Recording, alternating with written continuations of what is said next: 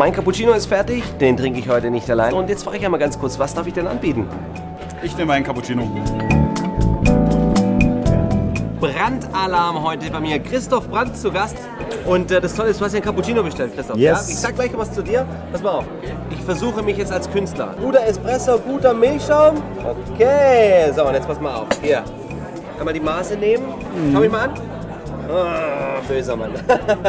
so. Ja, ich glaube, wir sind ganz nah dran jetzt hier. So.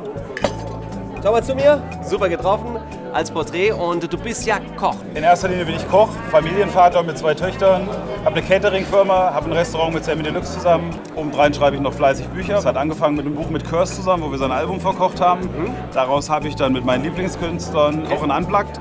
Xavier Naidu, Sammy Deluxe, Ah, Curse. gute Leute. ja, auf jeden Fall. Sehr schön. Musik muss immer passen. Ja, und somit verbindest du ja praktisch zwei Leidenschaften. Einmal Musik und einmal das Thema Kochen. Zwei haben wir schon ein paar Mal miteinander zu tun gehabt und ich weiß, du bist nicht nur ein leidenschaftlicher Koch, du bist ein leidenschaftlicher Cappuccino-Trinker. Das stimmt. Ja? Das Was stimmt. ist Kaffeekultur für dich? Was, äh, Also was Kaffeekultur zum einen ist, wenn ich zu meiner Mutter nach Hause komme, dann weiß man genau, wie es riecht bei meiner Mutter. Okay. So, und ich weiß auch genau, wie der Kaffee bei meiner Mutter schmeckt.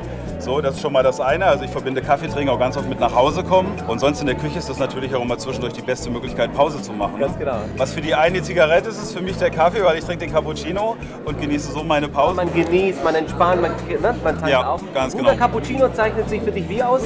Wenn er einen richtig geilen Milchschaum hat und wenn er nicht zu bitter ist. Mein Lieber, deine nächsten Projekte, was hast du denn vor? Äh, Wir starten gerade mit Kochen Unplugged 3. Ich hatte mir immer so Star Wars-mäßig drei Teile vorgestellt, die Trilogie. Und es gibt auch noch ein paar Musiker von meiner Wunschliste. Ja, ich habe äh, perfektes Profi-Dinner gemacht. Das ist das perfekte Dinner nur mit Profiköchen. Oh, Christoph, bevor wir einfach weitermachen, ich habe ein paar Fragen vorbereitet. Du antwortest ganz spontan, ja, und äh, einfach das, was kommt. Cappuccino. Meine Pause. Glück. Glück ist, äh, frei zu haben, Freizeit zu haben und die mit der Familie zu verbringen. So, und was verbindest du mit dem Thema Genuss? Genuss ist auch ähnlich so. Ich komme gerne runter und dann kann man gut genießen und dann kann es auch nur ein geiles Butterbrot sein. Dein Traum. Mein Traum, kann dir gerade keinen aktuellen sagen. Als letzte Frage, die Marke Kups. Was sagt sie dir denn? Ähm, Wir arbeiten jetzt seit drei Jahren zusammen und das war sehr vertrauensvoll und sehr liebenswürdig und immer sehr aufeinander aufbauend. Also ich finde es toll. Ja, Christoph, wenn man mehr von dir erfahren möchte, wo findet man dich denn? Na, auf jeden Fall im Internet www.christoph-brand.com oder man findet mich auf jeden Fall unter Fliegende Köche. Und wir genießen unser Cappuccino. Ganz genau. Prost.